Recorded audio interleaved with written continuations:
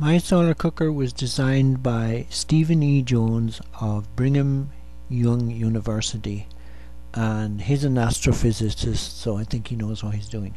It's a solar funnel cooker and um, it's uh, very easy, very inexpensive to make and I did my experiments in early October 2006 when to be quite frank there was very little sun here in um, Victoria in um, Canada.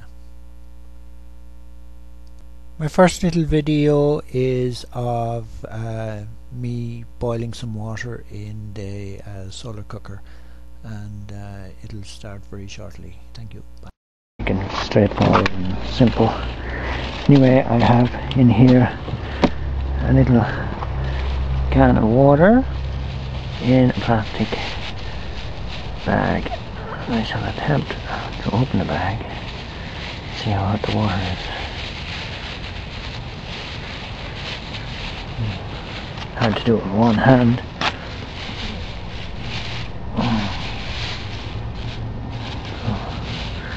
here we are anyway.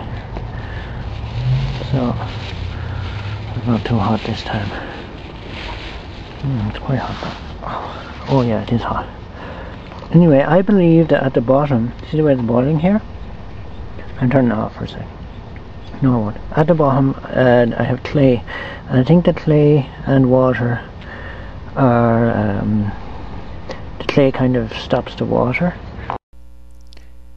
Here are some beans in a canning jar, and um, this is before they're put into the solar cooker and it's about I guess it's something almost a liter of a canning jar and here we go now and this is it uh, wrapped in uh, an oven bag in the solar cooker. And um, it was left in there for something like an hour an hour and a half. And uh, here we see a blank piece before the next little bit where it is uh, cooked in the um, cooker. And also uh, I have cooked uh, potatoes and uh, um, I have a little video of um, after they're cooked and I shall show it to you. Uh, as you can see it has been baked. Okay, and here are the rest, I haven't taken them out yet. Um, oh yeah, they're baked. They're baked. So here is one of the, um, this is the top piece of potato after being baked. So as you can see, ow, it's still pretty hot inside, but uh, as you can see it has been baked. Okay, and here are the rest, I haven't taken them out yet. Um, oh yeah, they're baked, they're baked.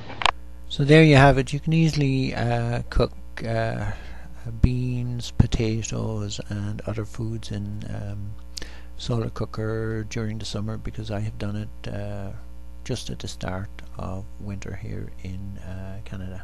Thank you. Have a good day. Bye.